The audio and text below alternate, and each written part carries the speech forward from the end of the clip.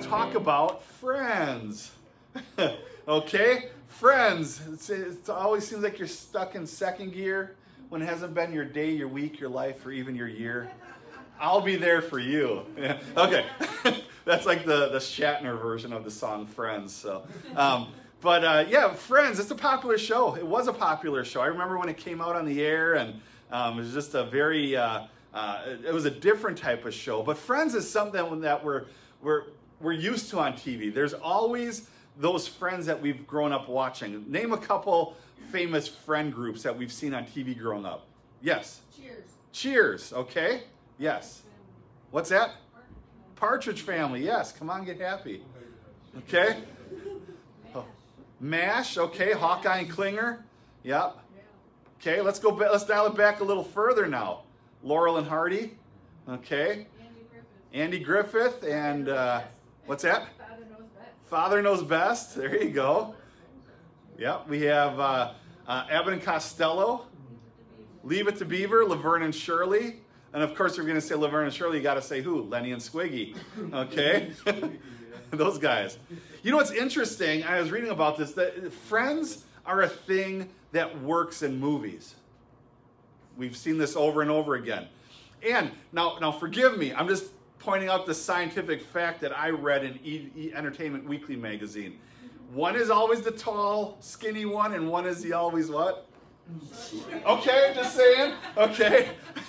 and so this is a duo that works, okay? And I mean, look at some of the more modern comedies. There was David Spade and Chris Farley, okay? One wasn't necessarily taller, but he was the skinny one, and one was a little more horizontal, uh, vertically challenged, okay? Um, and there, there was uh, over and over again, we see this, and it even trickled over into one of the most famous series ever. And they pointed this out on on the on, on TV once in a documentary talking about dissecting this movie. It trickles over into Star Wars.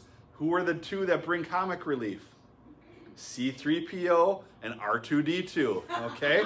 This is it's funny, but it's all of a sudden you hit it, it's like, oh yeah, he's short and stubby, that's tall and skinny, and they're always cracking jokes, you know, it's just kind of funny. So friends are an important part of life, and friends are something that's sung over and over. If you grew up in the church in the 80s and 90s, you heard inevitably the offertory. That's when churches would do offertory. Someone would sing while the offering was being taken, and someone inevitably would get up and sing Michael W. Smith's song, and friends are friends forever. You know, that song, if the Lord's the Lord of them, and then as you get older, you're like, oh, this song again. um, we were just at, uh, I, I was a judge for uh, the Assembly of God Fine Arts Festival. And I was talking to some of the youth pastors, and I feel like a grandpa compared to these youth pastors. I'm like, really? You look like a kid. But I'm like, so what's the song all the kids are singing right now? That, you know, because back in the 90s and 80s, Beth, Brad, you remember these days, it was like over and over the kids would either sing Jackie Velasquez, I Get on My Knees, Beauty for Ashes, Crystal Lewis. And they're like, I don't know, just, I don't know, there, there really isn't a song anymore. But, you know, regardless, it was always the solid one was friends.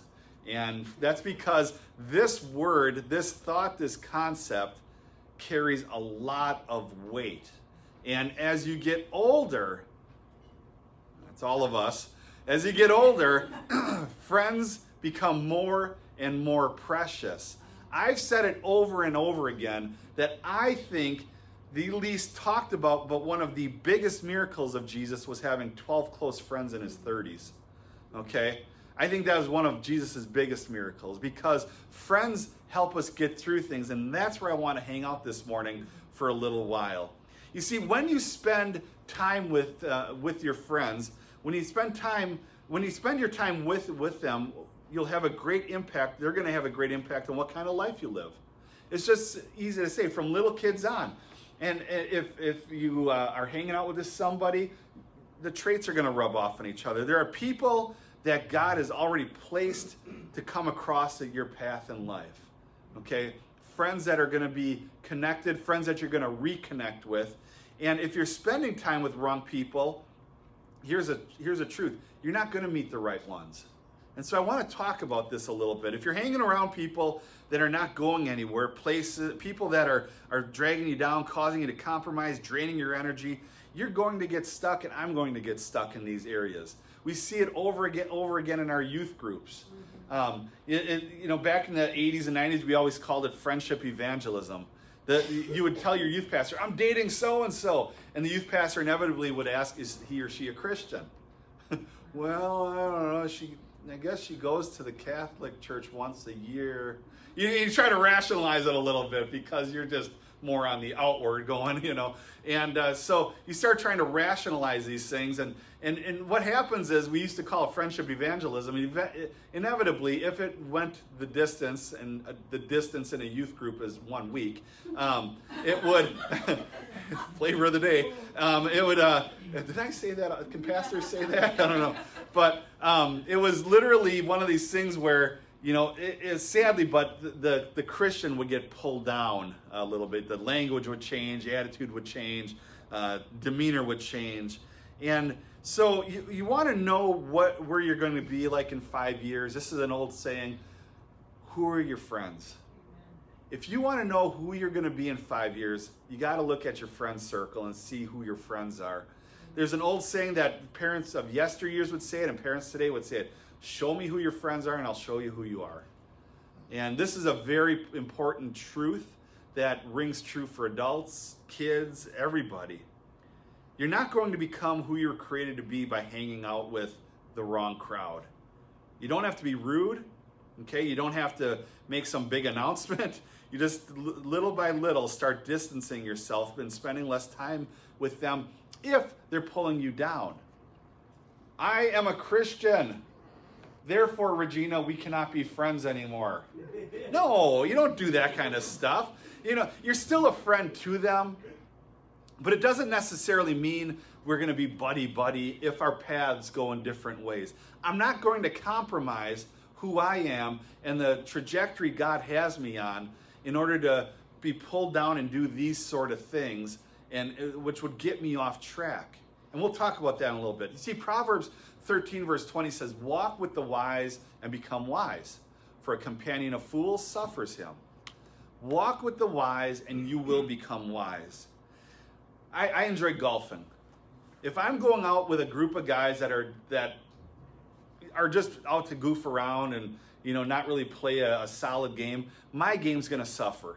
Okay, and their game's gonna suffer. Likewise, if I'm teeing it up every time like Billy Madison, okay? Um, no, Happy Gilmore. If I tee it up every time like that and run up on the ball and try to hit it and stuff, we screw around the whole 18 holes, it's not to be a good score. But if I go out and I play with somebody who's good, that wants to have fun, but wants a good score, my game is to come up.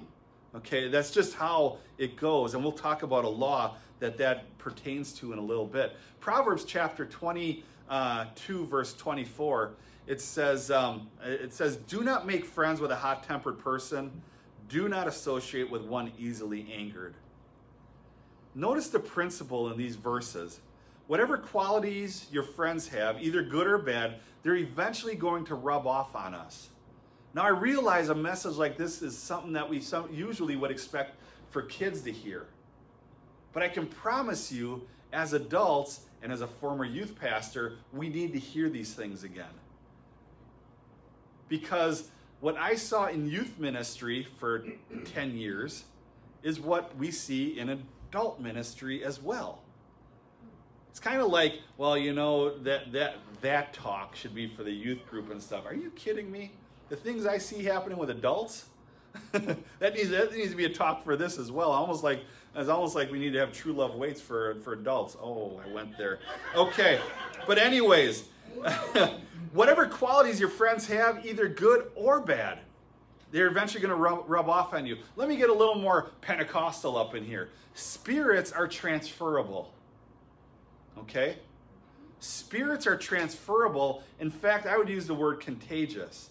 If I get around a bunch of negative people, guess who's going to become negative as well? And I, I'm very easy at doing that.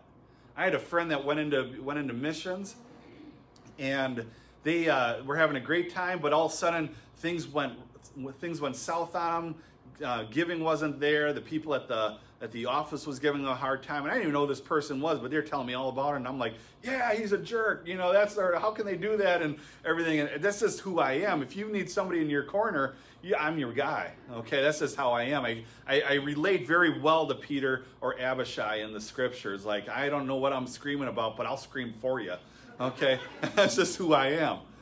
But you know, spirits are transferable. If you hang out with a gossip, before long, guess what you're going to be? A gossip.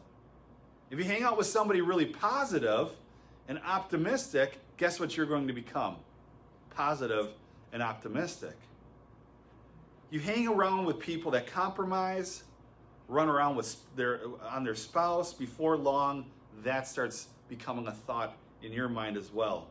However, if you hang around with excellent people, excellence will rub off on you if you if you're an up and coming entrepreneur and you hang out with somebody who isn't, there's not a lot of dreaming and motivation going on. Not saying either one is bad, but if you're wanting to be an entrepreneur, you need to hang out with somebody else who has that pioneering spirit in them and is wanting to go after it. And they'll teach you and show you ways and give you things, um, you know, it, that, that are going to get you going on the right path. If you associate with successful people, people that are determined, motivated, going places, the same good qualities will become part of your life. And so, in the realm of friends, and we've seen it with Ross, and what are the other friends' names? Rachel. Rachel. I'm surprised a guy didn't say that actually. Okay. Phoebe. Phoebe, yes, the cat lady that sings about the cats and stuff at the Daily. Chandler, yep. So you start all of them. I promise you, when you watch those movies over, those TV shows over and over again, you're going to see that they have set boundaries. Okay, that these people set boundaries. Abbott and Costello. Every year when my son starts playing baseball, I make him watch the, the, the, the Abbott and Costello clip, Who's on First. okay? And the, the guy that's the smaller one, is that Lou Abbott? Lou, Lou Costello? That's Lou Costello, the shorter guy. He gets so revved up, okay? He, he, he reminds me of the guy from American Pickers, the uh, Frank, okay?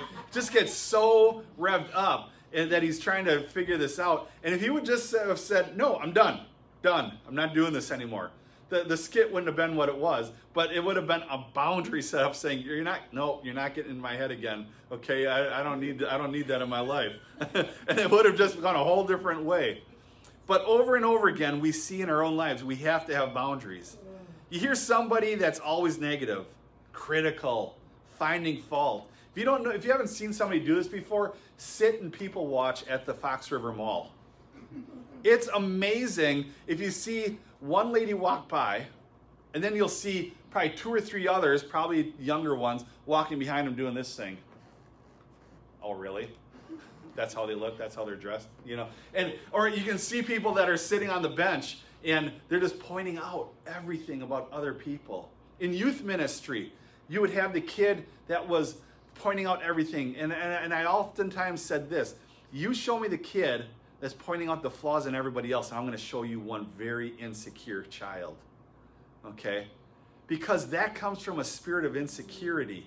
If we're going to throw people under the bus constantly, if we come and serve on the rock with the rock and we point out in the car ride home, wow, that person should get that person, that person, it, it points back at us at our own insecurities.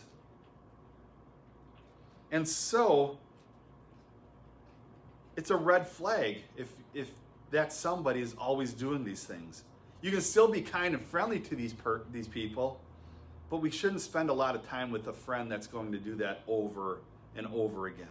Be selective. And I realize sometimes at our at home or work, we don't have a choice of who we're around. I get that. I totally get that. I'm around the pastor at this church all the time. He's a jerk. no, I'm just joking. but you, you don't have a choice, so you make it work. You, but then you set up mental boundaries. Okay, so you're around negativity all day at work. What are you doing on the way home to set your mind, as scripture says, on things above? Are you going to listen to a, a, a, a motivational, uh, edifying, a, a preaching, a podcast on the way home in your car? Are you going to just leave the radio off and just say, God, help me, fill my mind with new things? Maybe you'll kick on the family and listen to some good, uh, positive music. I don't know. But whatever it is, we do to get out of that slump. God will give us the grace for those situations where you don't have a choice. But I'm talking about when you do have a choice. You see, life's too short to waste valuable time with the wrong people. This is the number one thing that I see that gets people off course is running with the wrong crowd. A year ago, two years ago, you're like, what happened? You were this person. You were a joy to be around. You started going with this crowd, and this is like your lifestyle now. What happened? As a Christian, that's been a Christian for 36 years and grew up in the youth ministries and all that, I will say this. I believe wholeheartedly in the power of Jesus Christ and the transformation power that he has in our life. However, I've seen it over and over again, and it's very rare it doesn't go this way. You take somebody who's solid in their faith and they start running with the wrong crowd, they will get pulled down. That's the power of sin, that's the power of negativity, that's life. So we have to be careful with who we go with. People ask me often, well, doctors, especially nurses, do you drink? No, I don't drink. They almost look at you nowadays like, really? says here you got three kids. You don't drink? no, I don't. There's there's three reasons. Number one, I was raised not to. It wasn't in our home. That's just how it was. We were raised in an assembly God home. My mom didn't even go to movies. Okay, and she cringed at playing cards. Okay, that's the home that we were raised in. Beth can give me an amen on that. and then there's also um, the taste. I just I can't do the alcohol taste. I've tried it, I've tasted it, and I've seen it's not good. Okay. Number three, I have a very addictive personality. Whatever I sink my teeth into, I go all in on. Okay, mountain biking, I'm all in. Look at my car, stickers, mountain biking, um, hobbies, things like that. If I do something, I'm all in. And honestly, this is where I resonate with the Apostle Paul, and this is where transparency can be a good thing in church. If I enjoyed it, I would go down a dark path. How's that for transparency from a pastor? Amen. So that's why I don't even try it. Because there is a part of me that scares me that says, I might actually like the taste of it. And I do deal with stresses and I do deal with kids and all this stuff, and I don't want to go down that path. I had a Christian artist in at our church back in Milwaukee, and we were talking about transparency in my home. And he was a well known Christian uh, artist. He was known for pioneering a lot of the Christian uh, music in the earlier days. And he sat and we were sitting there and he goes, So what's your weakness? We talked and I said, So what's your weakness? He goes, and he came from a dark past. He says, If you drew a line of Coke in front of me, I'd snort it. I love that. I love that we can have that transparency in our in our walk with Christ. He came out of that lifestyle of Coke and everything else, and he knew his boundaries. He says, if you drew, if somebody drew that in front of me, I would probably snort it. And that's why he doesn't hang out with that crowd. Because it's it's a friend circle he just doesn't want to be around. And I resonate with that because if I try something and I and I like it, I don't know where that would go in my own life. So I hang out with a different group of friends. Whoa, pastor just got transparent. we need that in churches. We need that blatant honesty in churches. This is the number one thing that I see that gets people off courses, off their course. I read once, and I'm, I'm going to read this. I read where Thomas Edison, Harvey Firestone, and Henry Ford sound like familiar names, had summer homes next door to each other in Florida. They were friends and would spend much of the summers together. You notice they did not. You'll notice they didn't just associate with anyone. They associated with other dreamers, with other people of vision, and no wonder they soared to new heights because that was their friendship circle. Wow, C.S. Lewis was a good author. Yeah. It's because he hung out with a group called the Inklings in a little tavern with J.R. Tolkien, Lord of the Rings, and all of these other authors. That was their friendship circle. And so you get these guys together, oh, they're going to have a fun time and whoop it up. But this is why such phenomenal writing came out of that circle of friends, the Inklings. Google them. It's, a, it's an interesting group of friends. See, Proverbs 28 7 says, Young people who obey the law are wise. Those with wild friends bring shame to their parents. So the question is are you hanging out with worthless companions? Now, let me backtrack on that word worthless. I don't mean, of course, that people are worthless. That's not what we're about. But they're not adding value to your life. Okay? These are people I would have no problem serving. These are people I have no problem helping. These are people I would have no problem sitting at a parade with or something. But to hang out as iron sharpens iron, no. That's my boundary. I need someone I can laugh with. I need somebody that I can build up, somebody that they that I can be built up off of them. And that's why Scripture has that verse: "As iron sharpens iron, so one man sharpens another, or lady." They're not inspiring you to reach your dreams, and they're dragging you down. You need to reassess. I believe if you let go of the wrong people, God will bring the right people into your life. He knows we want friends. He created us. We're hardwired for companionship. As one person said, don't settle for a chicken. God has an eagle. what does an eagle do when he wants to get away from all the hustle and bustle? This is scientific. Watch PBS, watch Discovery, watch anything. If you know anything about eagles, if a crow's bothering him, what does an eagle do? Go up. He goes up to heights that other birds can't go.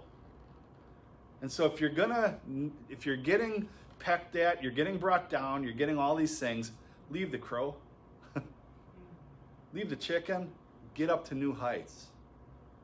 Why does Scripture use over and over again the imagery of eagles?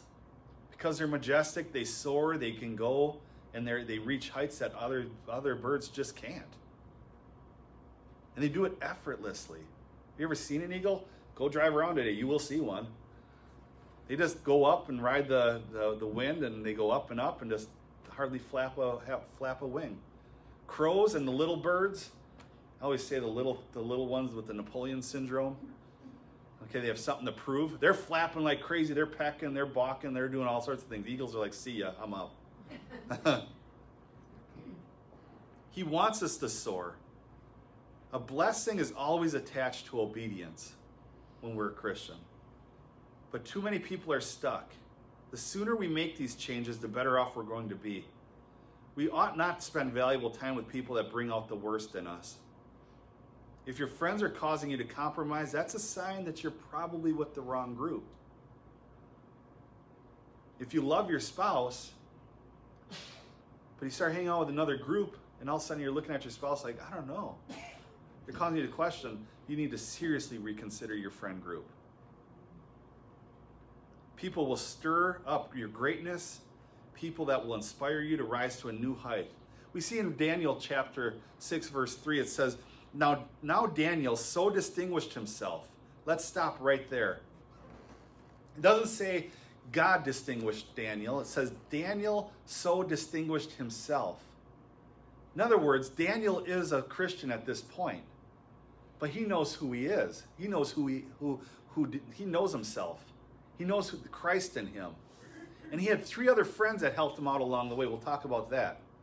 But he says Daniel distinguished himself among the administrators and the uh, satraps by the exceptional qualities at the king, that the king planted to set high over the kingdom. In other words, Daniel knew who he was, and so he walked in that confidence and then he also had three other friends. If you study his life, you'll, you'll find who his excellent friends were. You know who Daniel hung out with? It was Shadrach, Meshach, and Abednego. And so these are three people that knew who Christ was. They've experienced him in his life. And these are the friends that Daniel had to bring up his own life. So no wonder Daniel was a person of excellence. His friends were people of integrity, they were people of courage, people that would not compromise, that was evident. And there are people that had a big dream for their life. So no wonder Daniel distinguished himself because it wasn't a second thought on who he knew he was. He walked in that. See, psychologists, this is what I wanted to get to. Um, they, it, um, oh, I guess, okay, we can cancel off of that. One of my slides got deleted. But on your outline, it says psychologists tell us there's something called the law of the group. That is, we associate with people the way we see ourselves. Okay? This is interesting. Have you noticed how people that like to gossip find other people that like to gossip? Negative people gravitate towards negative people. Complainers find other complainers. Thus, the Bible says, the, thus there's a saying, not the Bible, but there's a saying, birds of a feather flock together. And so I would encourage us this morning is to make sure that we're flocking to the right group. Everybody needs Christ, and as a church, we need to understand that. As a pastor, I understand that. But I'm going to be blatantly honest with you. When I see someone struggling with alcoholism and they end up going to a bar to find counsel from one of their friends that's there, I cringe a little bit. When somebody is struggling in their marriage and they're going to go get advice from somebody who just divorced, I cringe a whole lot. I'm going to say something very bold but very true for this city. Divorce is contagious. It's a cancer in our city. The last couple of years in this city and in our church has been awful. And I sit back and I'm like, if if we don't understand that spirits are transferable, we need to open our eyes and relook at things and what's going on. We need to reassess who the friends are. Now, I'm going to be honest with you. There are reasons, there are biblical reasons that Paul lays out for divorce. I get that. I totally get that. But these things are, are contagious. I've seen it happen back in 2008, 2009. Group here, you know, one got divorced and all of a sudden it just like boom, boom, boom, back to back. And it's like, you got to see, even if you're not a Christian, you got to see that this thing is contagious. And so I would just encourage you to make sure you're flocking to the right group. Victorious people associate with victorious people. Successful people find other successful people. Find friends that are going to make something out of their life. Let me add this. There are times that you can outgrow a friend. Okay? God had them in your life for a season. You blessed them. They blessed you but now that season's over. But you know you can't spend the same amount of time and become who you were created to be. True friends are going to understand this. And there will come a point, perhaps, when they're going to come back full circle and you, and you join up again. I'm finding that in my own life right now. I don't know if he's watching right now or not, but my friend Mario, his dad owns Ballesteri's Pizza. we, we were gone for a long time we reconnected because he offered the dinner at his restaurant for my mom's funeral. And now this week I'm doing his wedding. We just see these things coming back together again. Sometimes friends they fall apart because you're going places they can't go. And likewise. but perhaps God brings us back together again down the road when life kicks you in the rear end a little more. and you realize what's truly important. True friends won't try to make you feel guilty. They'll be happy for you. They'll celebrate where you're going. Just as God opens doors, He closes doors, and you can't get stuck trying to hold on to something that's over and done. And I know we don't like change, but that's the way it goes. So I would just encourage you this morning reassess your friends. I would say this with kids too reassess your friends. Because as the old saying goes, show me who your friends are and I'll show you who you are. It's an important thought. Friends are everything.